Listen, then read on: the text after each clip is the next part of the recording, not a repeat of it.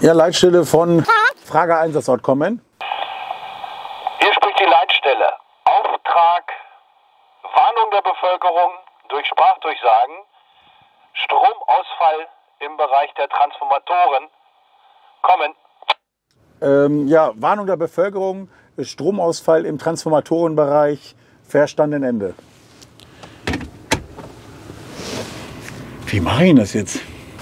Da gibt es jetzt mehrere Möglichkeiten, die einem jetzt als Einsatzleiter in den Kopf kommen.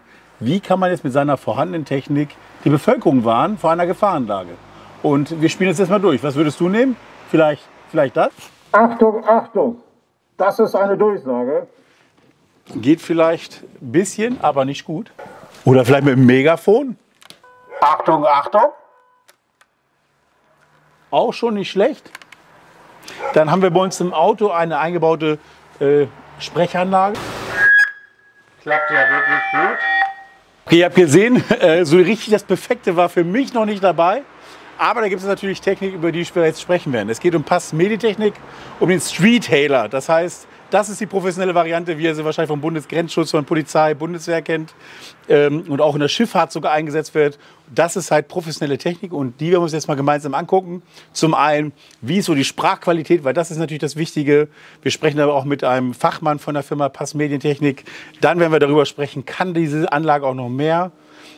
Wir werden darüber sprechen, wie man das bedient, gibt es da Sicherheitsfunktionen und so weiter. Äh, Aufnahme möglich, darüber werden wir auch sprechen. Und äh, was man auch hinterher auswerten kann bei diesen Sprechanlagen an Technik ist unglaublich, wie weit die Technik da ist. Seid gespannt, jetzt im Video, los geht's.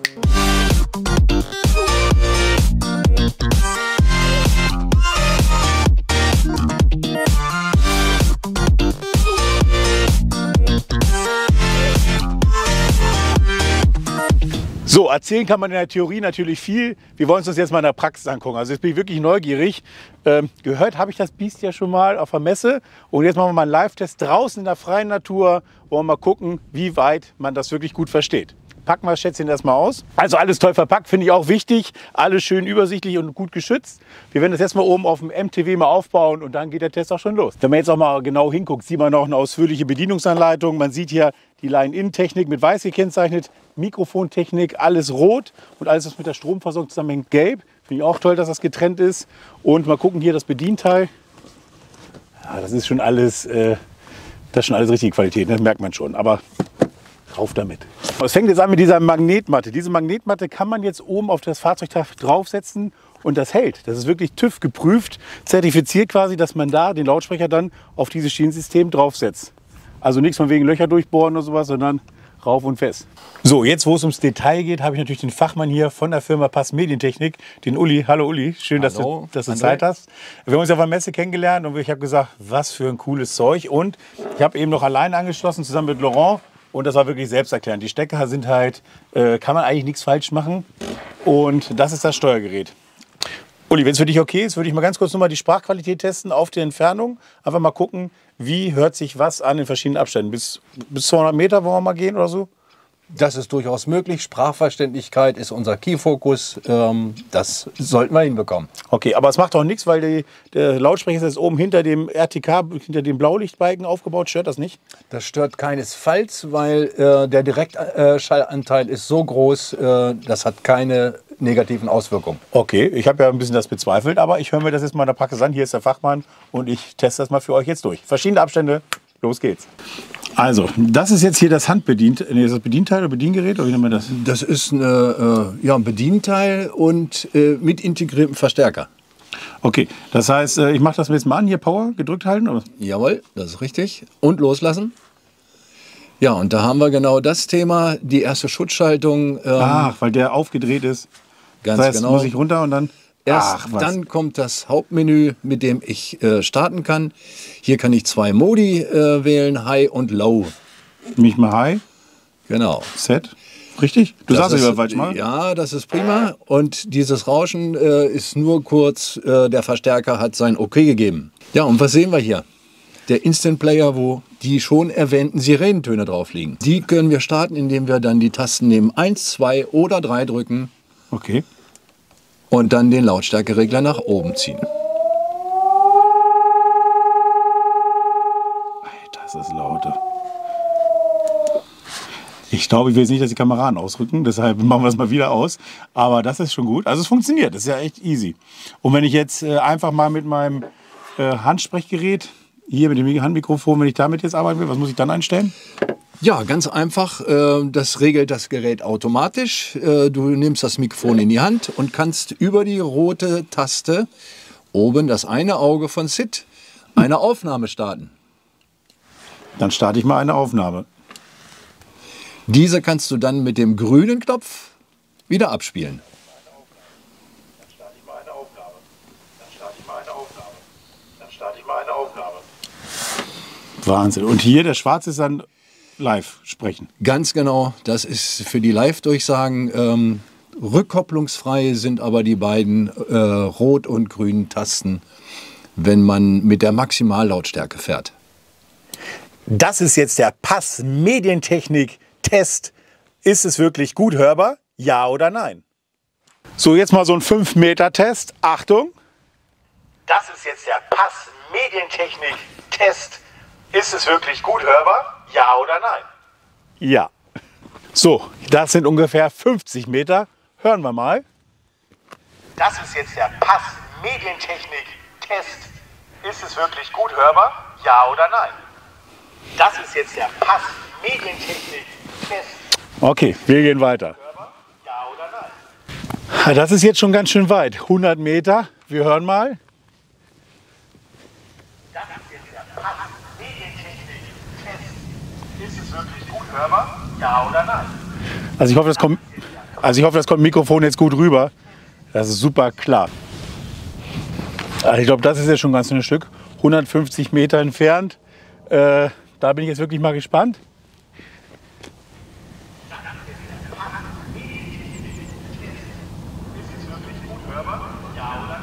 Also das sind jetzt 150 Meter und man hört es wirklich noch gut. Es wird zwar jetzt langsam leiser, es ist auch ein bisschen windig, es ist ja freies Feld, aber das überrascht mich wirklich, weil das ist wirklich schon weit weg und Hammer, echt. Oder? Hört man das gut?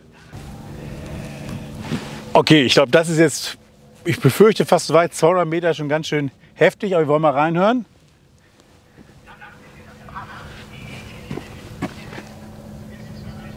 Gefühlt wie bei der 150 Meter Marke, ich merke jetzt eher keinen Unterschied. Du, Laurent? Das ist wirklich super, echt. Klar und deutlich. Klar und deutlich, man versteht es. Ich hoffe, das kommt im Mikrofon wirklich so gut an. Ähm, aber da bin ich jetzt wirklich überrascht. Das ist ja heftig. Man kann dichter ran und lauter sprechen und man hört das super. Wir hören mal einen anderen Ton und jetzt mal, was versteht ihr im ersten Satz von einer anderen Durchsage, die nicht von mir ist? Notfall. Die Brauereihalle ist wegen eines Kesseldrucks überschwemmt. Warten Sie auf die Rettungsboote. Also das war jetzt wirklich laut. Also wahrscheinlich auch mal schnell durchgesprochen. Das ist auch anders, wenn man sich wirklich Mühe gibt und mal ein bisschen ins Mikrofon reindrückt tatsächlich. Äh, also das war heftig beeindruckend. Wenn ich jetzt die eingebaute Lautsprecheranlage von dem MTW anschmeiße, dann wisst ihr, was eine Blechtrommel ist. Das wird man hier kaum verstehen. Aber wir testen das gleich mal. Das ist die fahrzeugverbaute Sprechanlage.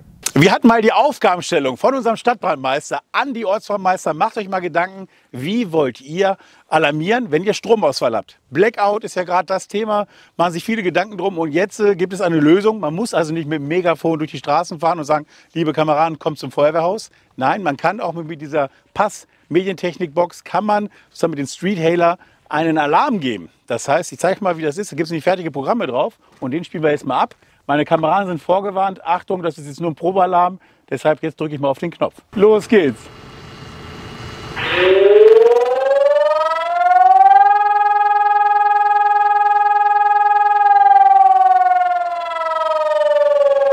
Das sind ein paar Dezibel.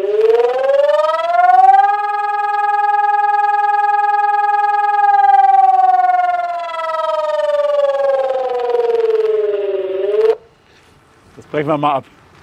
Ihr wisst, was ich meine. Man kann also wirklich damit auch ernst machen in der Notlage nicht nur die Bevölkerung warnen, sondern auch die eigenen Kameraden alarmieren. Ey, das Beste eben, wir haben das ungefähr vier Kilometer vom Dorf weg, diese, dieses Video gedreht. Und wir wurden ihn angesprochen, was ich denn da für einen komischen Kram erzählt habe. Äh, wir wurden komplett gehört und verstanden auf vier Kilometer Entfernung, ob ihr es glaubt oder nicht. Wir waren hinten in freier Pläne. Im ganzen Dorf hat man mein Video gehört. Krank. Wir haben uns ja auf der Messe getroffen und da habe ich das, das erste Mal gesehen und da ist mir erst das Thema Beschallung oder diese Tontechnik ist so, ja, halb spannend. Tatsächlich hat mich das jetzt ganz schön gepackt und will euch mal da zeigen, dass es da halt Unterschiede gibt. Also gerade diese Sachen, so äh, Bevölkerungswarnung wird ja eigentlich, ich glaube, eher mehr als weniger, ne? Oder?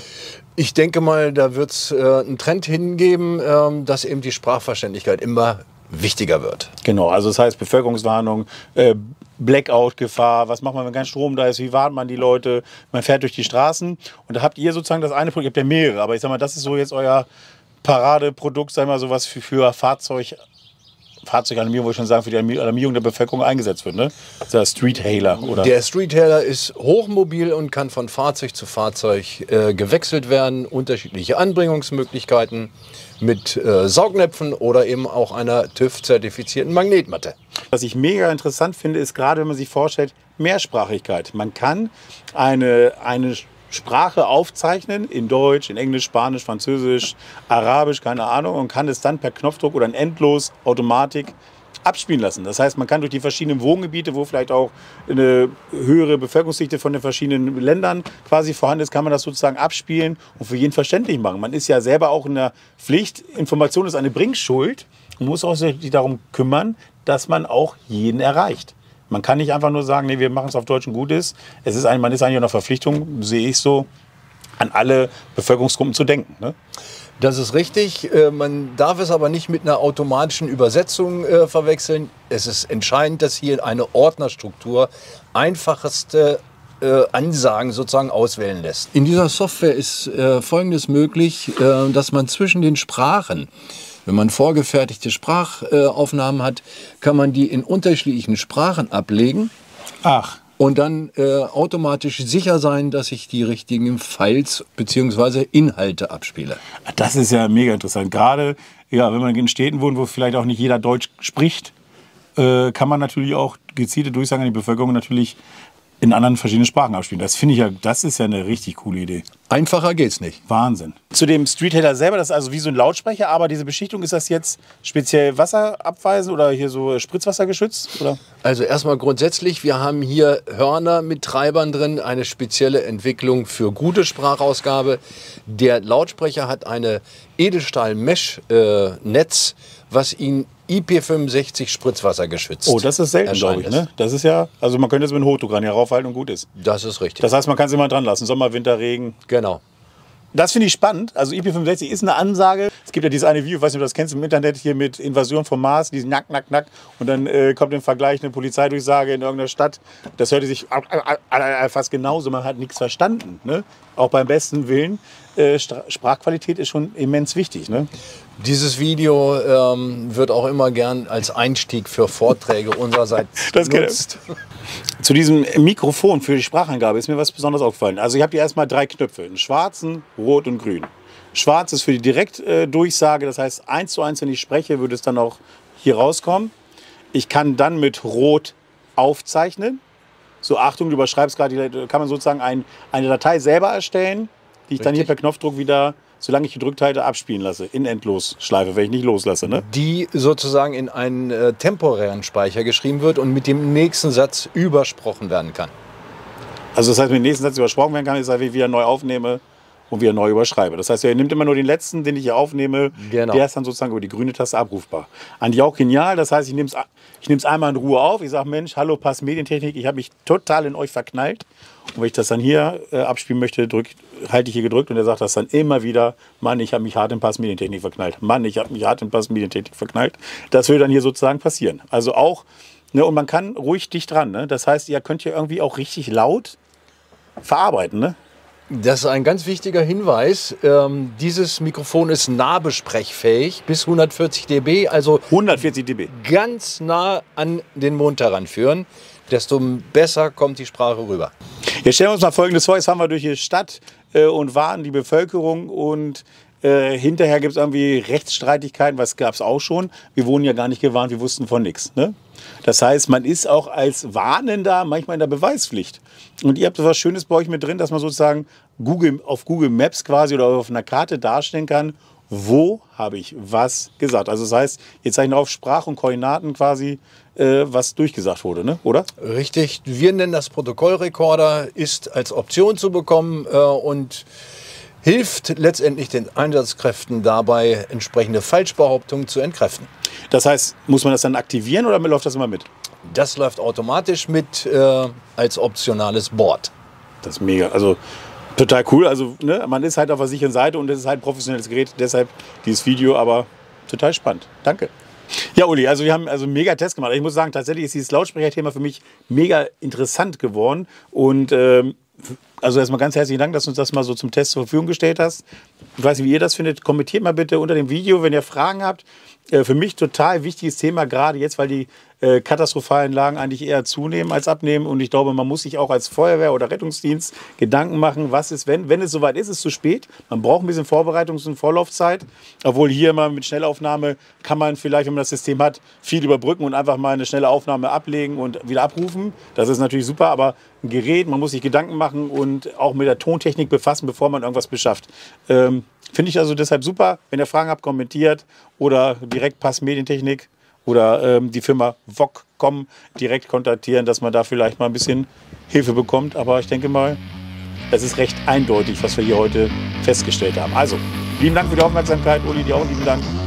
Und danke für das Interesse. Alles klar. Wir sagen bis zum nächsten Video. Euer Feuerwilli und der Uli.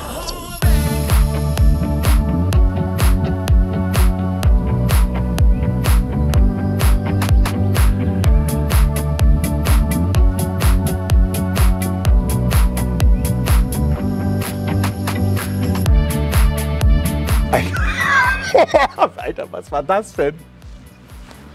Ist das laut? Ich glaube, ihr nennt das ja gar nicht Handmikrofon, ihr habt ja einen eigenen Namen dafür entwickelt. Ja, das ist Sid, ähm, parallel Sid beziehungsweise bekannt aus dem Film Ice Age. Das sieht echt so aus. Echt cool.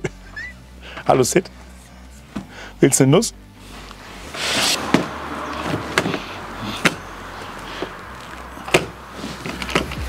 Das ist fest.